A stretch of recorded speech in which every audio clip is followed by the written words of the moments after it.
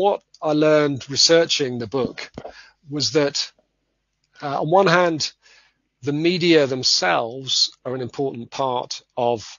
uh, battling for media freedom, uh, establishing autonomy from the state. Uh, if you think back to the press and broadcasting centuries, uh, and I think we need to think about how this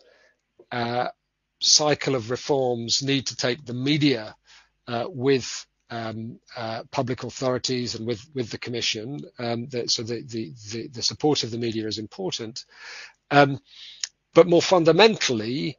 the trust and support of citizens is important. We're, we're living in an age of distrust, and a lot of that distrust is manifest in uh, a lot of uh, conspiracies about where certain messages come from.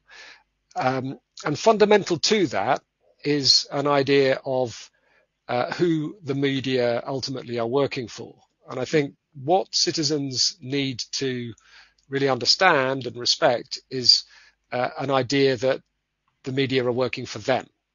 um, and that uh, they have the public interest and they have the interest in truth um, uh, at heart